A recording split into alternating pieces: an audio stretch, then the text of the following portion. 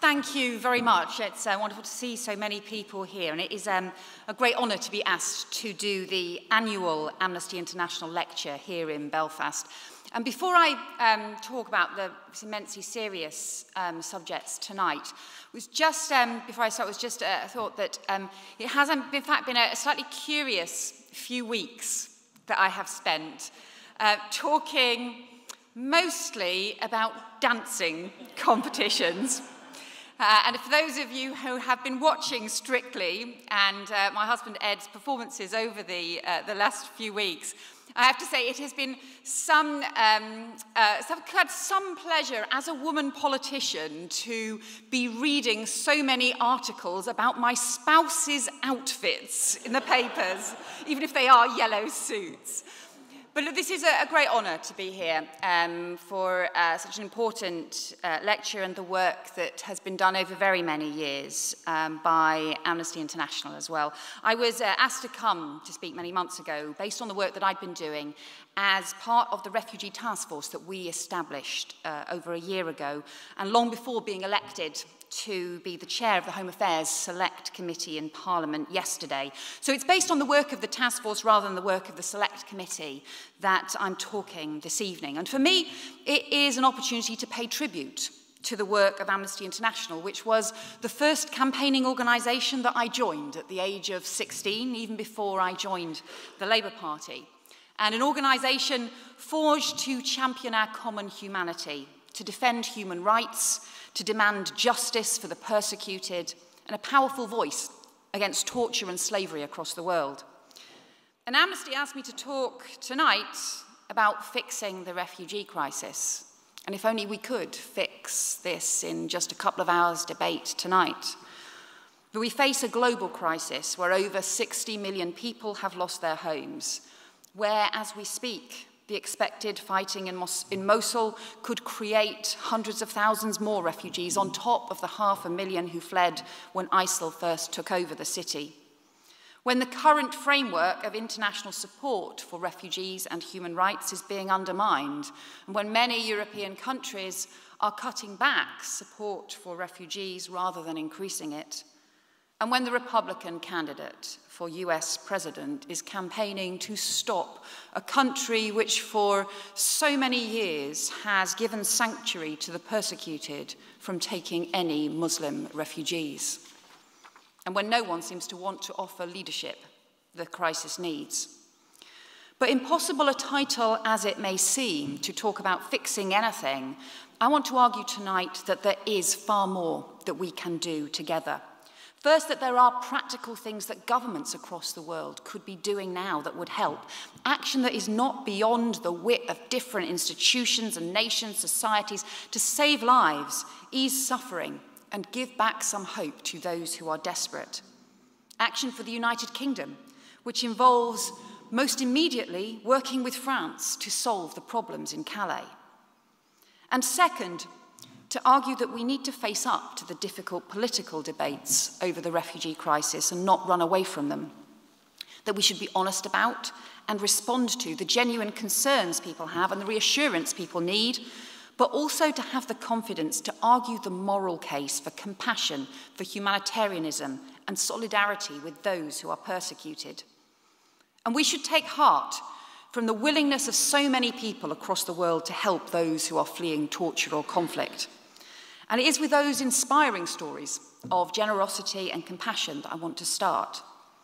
Because we're gathering tonight here in Belfast, just down the road from what was once Mooney's Bar in Cornmarket, where 80 years ago, members of the Refugee Aid Committee and the Belfast Hebrew congregation signed a lease for a derelict farm in County Down to provide a new home for refugees who were fleeing the Nazis.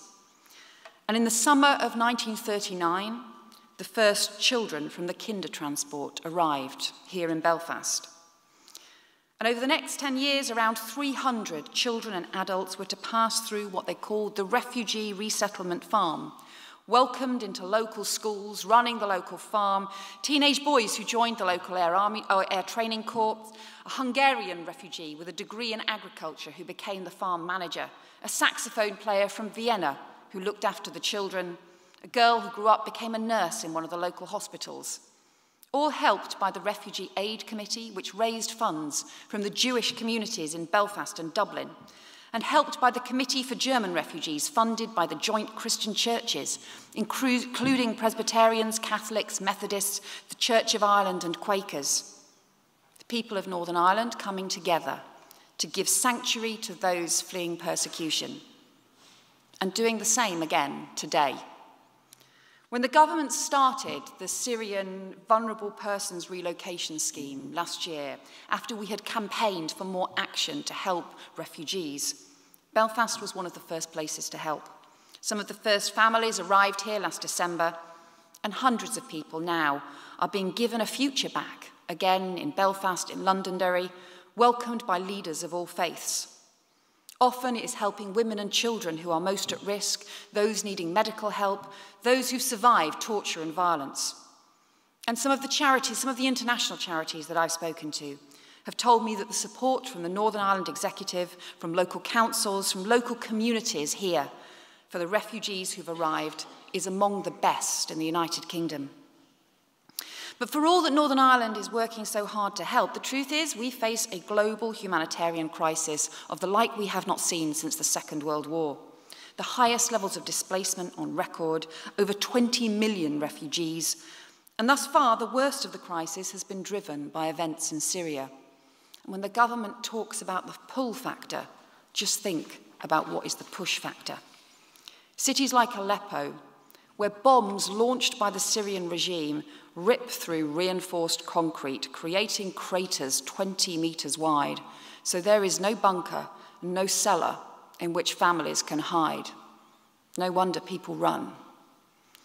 There's a seven year old girl on Twitter, and like any of the rest of us, she and her mum post missives in 140 characters about their daily lives. Only Bana Alabed and her mum live in Aleppo, and they tweet as the bombs are falling. Tweet things like, I'm reading to forget the war. I miss school so much. Oh dear God, 11 bombs fall in 15 minutes. All last night was raining bombs. But it isn't just Syria. From Eritrea, girls being trafficked. In Yemen, conflict leaving hundreds of thousands of children facing severe malnutrition.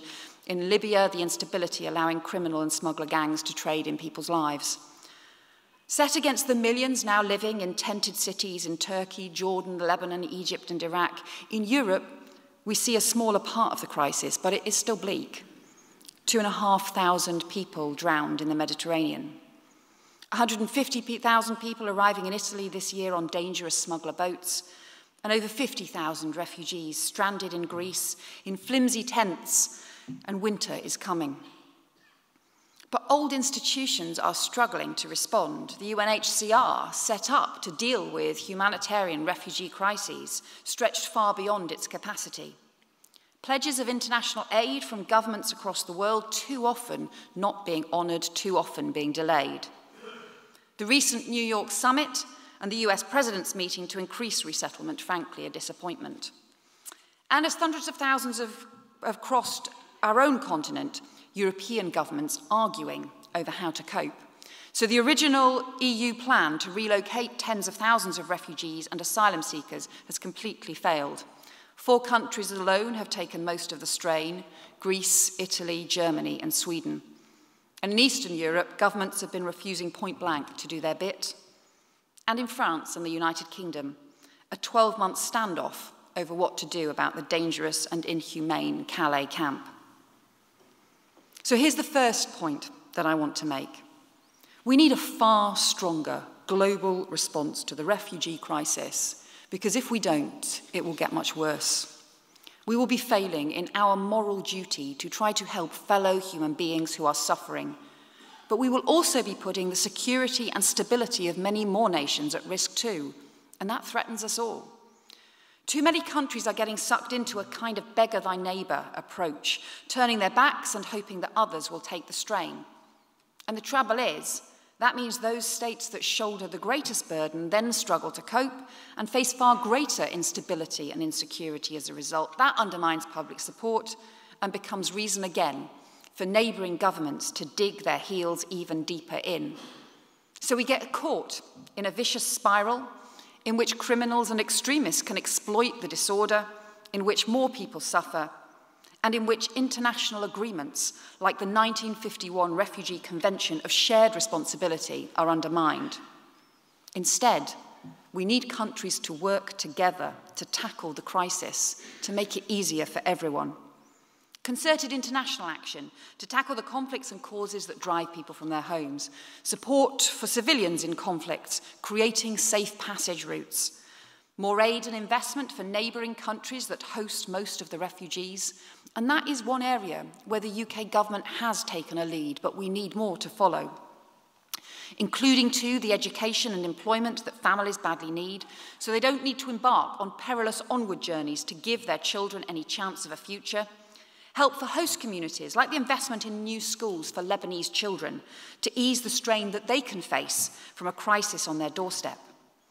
And countries further afield, including the UK, need to do their bit too by providing far more safe, legal, managed routes to sanctuary, including resettlement and family reunion. So, yes, the UK should be doing more. Action two against the smuggler gangs, the traffickers and criminals who profit from people's desperation, and safeguards for security, including the proper border and security checks to stop extremists or gangs exploiting the crisis. A robust asylum system, so those who are not refugees and who have safe home to return to do in fact return to maintain public confidence in the system. And plans for integration, to ensure respect for the values, culture and laws of the country that has welcomed refugees in. And crucially, the things that Amnesty has always called for, respect for the dignity and human rights of all. And that means much stronger action to safeguard children from abuse, something we should take far more seriously than I think previous generations have taken when refugee crises in the past. Much greater understanding, too, of the risks of modern slavery and sexual exploitation by criminal gangs, and a clear responsibility always on the authorities to treat everyone, be they in need of sanctuary or not, in a humane way. And let me say something particular about Calais, that small corner of the refugee crisis that is closest to our home. Because while we might not be able to fix the global crisis, surely two great nations, France and the United Kingdom, should be able to fix the problems in Calais. Because Calais should be a stain on all of our consciences. For too long, France has said it's a problem for the UK, but the UK government has said it's up to the French. And that standoff has left people suffering and at risk. No one should be living in the squalid, inhumane, and dangerous conditions of the Calais camp. For people, and especially children, to be stuck in a place like this in Northern Europe should shame us all. Ghettoized and lawless camps where criminal and trafficking gangs can exploit and threaten can never be an answer to the refugee crisis. And the camp is dangerous, and no one should be stuck there for another Christmas. Of course, it is France's responsibility to deal with this crisis in their country. But countries need to work together and that's why the UK should also be doing its bit to help. The French authorities have announced plans to close the camp within days, but it is a serious concern that there isn't yet a proper plan, especially for those most at risk. There must be enough safe accommodation for people to go to, UNHCR involvement and monitoring to make sure that intervention is safely done, and a proper process for asylum and immigration assessments so refugees get the urgent help they need and those who are not refugees return home. And there needs to be a proper strategy to prevent people ending up in Calais in the first place, including action to stop the trafficking gangs, so the camp isn't just rebuilt somewhere else along the French coast.